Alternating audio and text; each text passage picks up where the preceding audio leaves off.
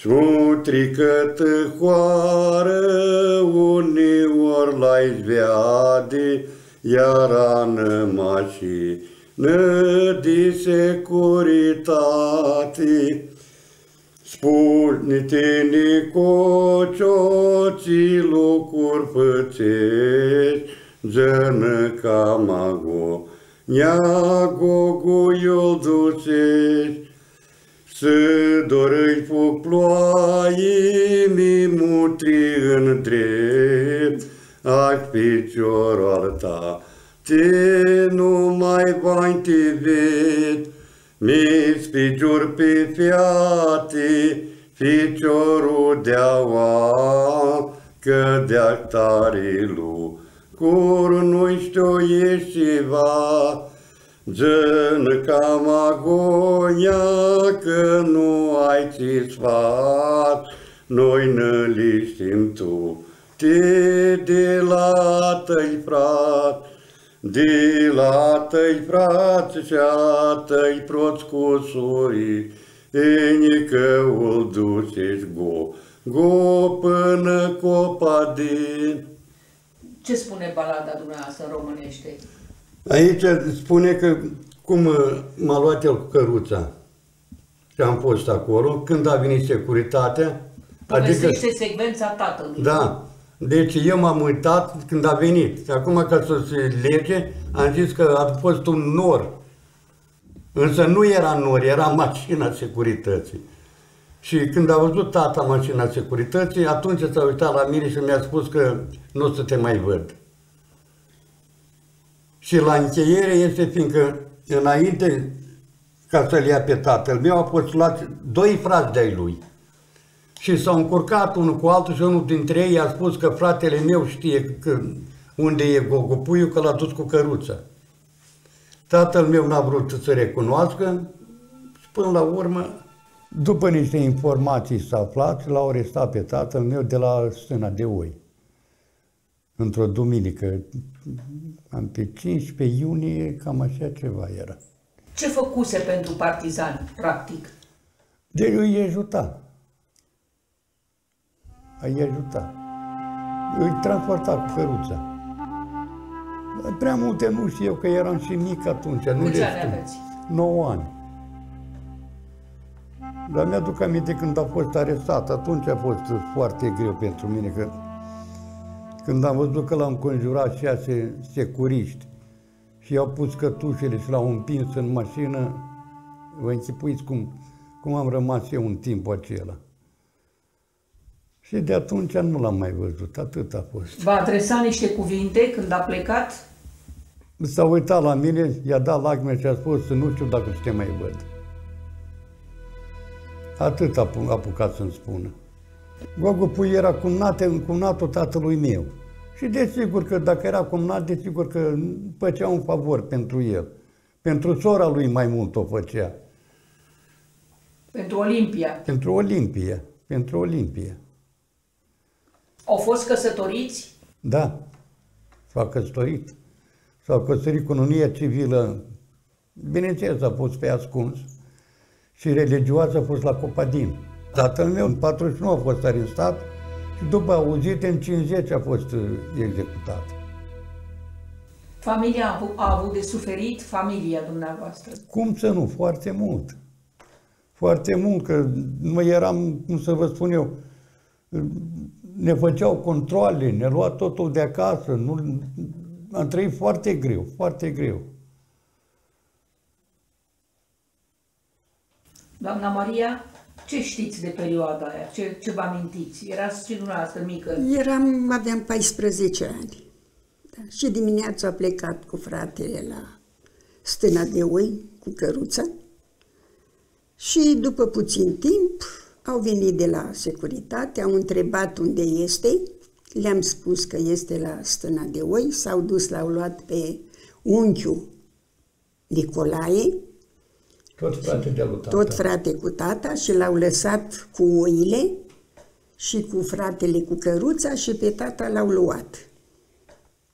În timpul ăla tata bătea coasa, că vrea să cosească iarbă Și când a văzut uh, mașina, s-a dus spre ei. Și l-au luat, l-au pus în mașină și de atunci nu l-a mai văzut.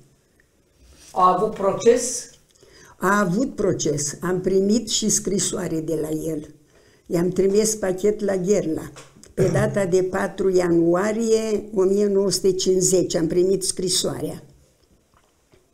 Și i-am trimis pachet la Gherla și au cerut și patru cărți poștale, dar n-am mai primit răspuns.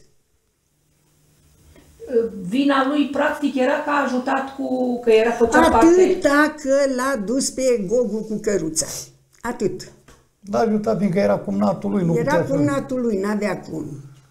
Era Să-l într-un refuze. hal care securitatea era pe urmele lui și ca să-l Să-l scape, salveze. să-l salveze. l-a Era arestat. legionar? Tata, Tata nu, Nu. nu era legionar. Asta a fost. Despre dumneavoastră, despre suferințele din partea asta de țară nu s-a vorbit. De ce credeți că nu s-a vorbit? Păi eu știu de ce nu Era s-a vorbit. interzise problemele astea, ca să vorbești. În special eu, eu în- după arestarea tatălui meu, eu am fost exclus din școală. La fost vârsta dați- aia, de nou? Da, la noi, Da, da, din în clasa, clasa a patra. din, a terminat a patra și în a Da. cincea l-au dat afară. Da, în a cincea, două săptămâni și am fost exclus din școală. Exmatriculat. Ești matriculat. Și v-ai, v-ai explicat de ce? E exclus, nu ești matriculat. E exclus. Adică fără posibilitate Fără, fără. Și eu, de reînscriere. eu până în 65 nu aveam drept ca să mă angajez undeva la Iașeu sau să fac vreo școală. În 61 am încercat la Sieral. O săptămână și n-a durat nici o săptămână. Au aflat și m-au exclus iară. Dar de ce ura asta împotriva acestei familii? Nu știu. Noi nu putem să știm ce era Nu știm nici declarațiile care s-au dat pentru el.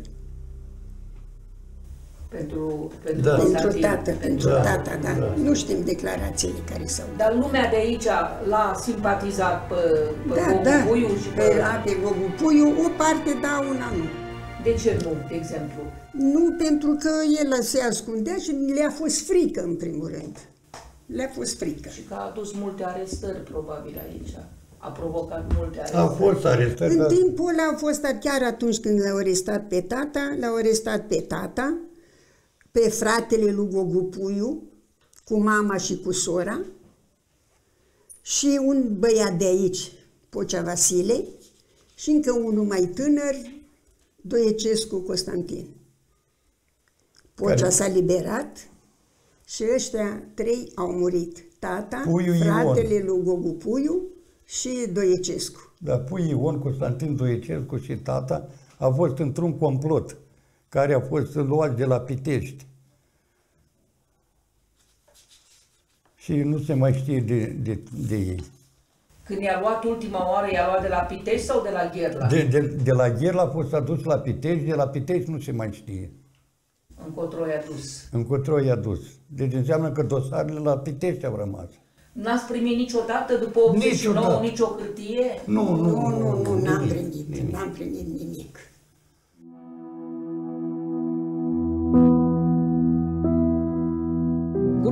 Luptătorilor bănățeni, loturile din munții Apuseni și lotul Haiducii Dobrogei au dispărut executați într-o singură noapte, ultimul domiciliu penitenciarul Timișoara. Memorialul Durerii a publicat în premieră aceste rezoluții autentice ale zbirilor securității, care astfel recunosc, dar numai în arhivele lor, crimele comise. Nimeni nu i-a tras la răspundere. Mulți dintre ei au supraviețuit după 1989.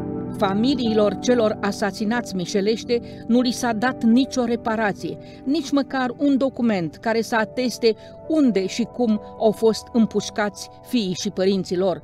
Vorbim de justiția militară de după anul 1989, care a ascuns crimele la fel ca și justiția lui Gheorghe Udej.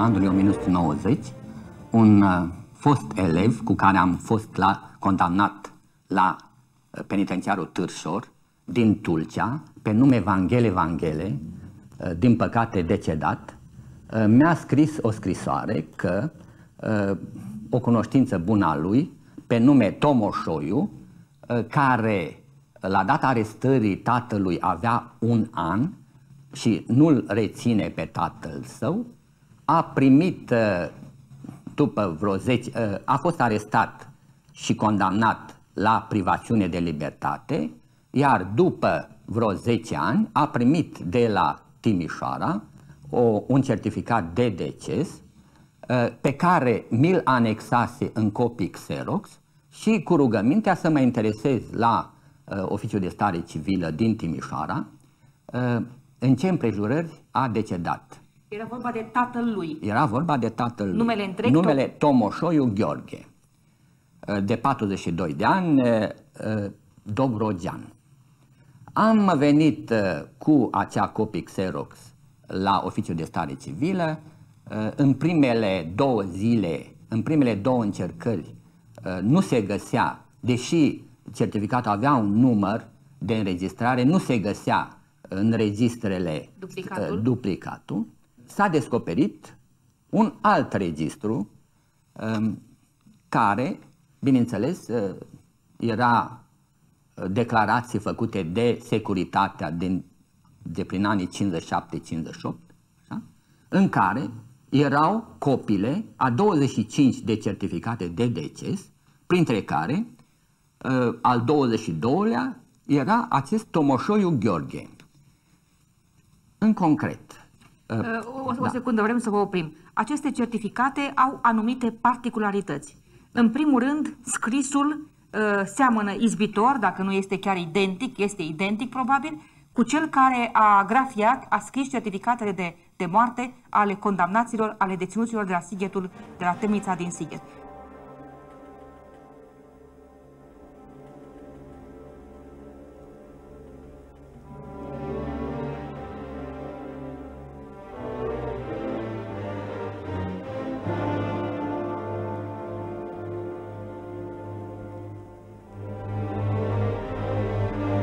Din acest registru de 25 decese, primele șapte uh, sunt uh, condamnări la diverse pedepse privative de libertate ale unor persoane din lotul Spiru Blănaru, care a luptat în munții Banatului și care toți au murit în aceeași zi, în 2 uh, august 1949, cu diverse diagnostice desigur neverosimile, următoarele 17 uh, au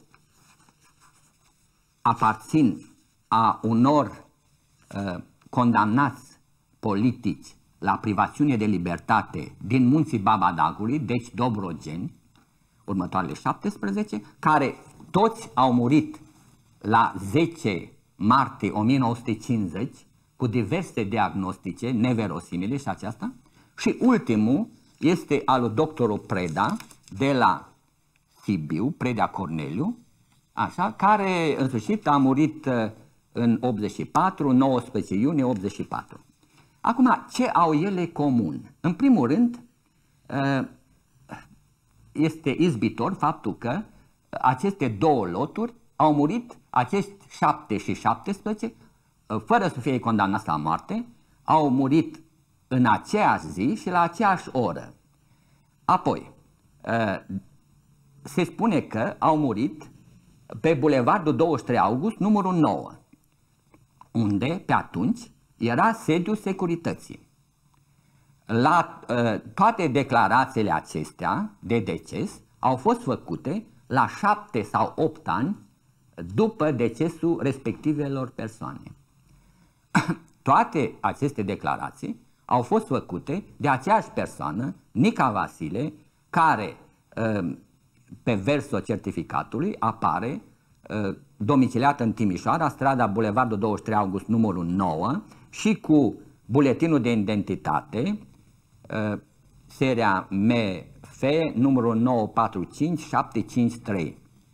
Uh, deci, uh, toate aceste 25 de certificate de deces au fost uh, declarate de acest domn care am văzut la memorialul durere că a făcut și alte declarații de deces din alte părți ale țării, deci probabil că era uh, în sfera lui de activitate. Putea să fie un nume fictiv.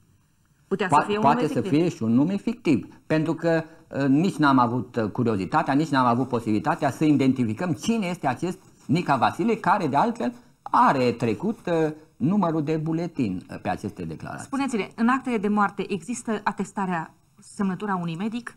Nu.